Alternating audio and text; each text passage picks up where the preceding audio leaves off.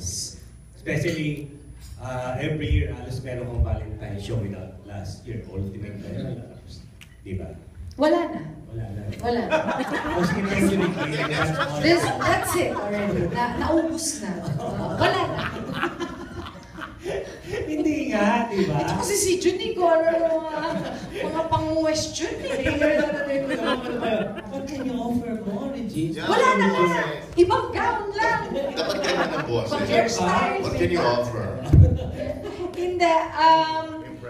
It's my first time kasi to work talaga with Angeline and Eric. So obviously, I'm going to be doing uh, yung numbers with each of them. So for me, that's exciting. Uh, it's also exciting uh, nung nagbi-meeting pa lang kami kung ano yung kakantahin namin. So finally, we've already decided kung ano yung kakantahin namin. So uh, nakakatuwang pagsamahin yung magkaibang boses kami kasi like kami dalawa ni Eric medyo magkaiba yung boses namin pero kami dalawa ni Angeline medyo malapit yung boses namin so I'm excited to find out kung ano yung magiging sound Oo. so yun Exciting also for the audience, I think. yeah Because they need together. to, we should do a number where we don't face the audience.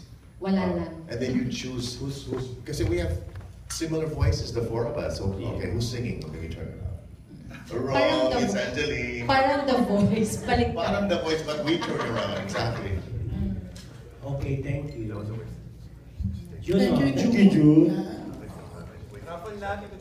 Hindi pa, ginagawa ko pa yung. Itaas na mo yung Jun natin. Ah, sa Jun Master! Dahil nagtanong si Junardo, meron siyang. Pacific Blue. Gusto, gusto ko yan. Lapit ng summer.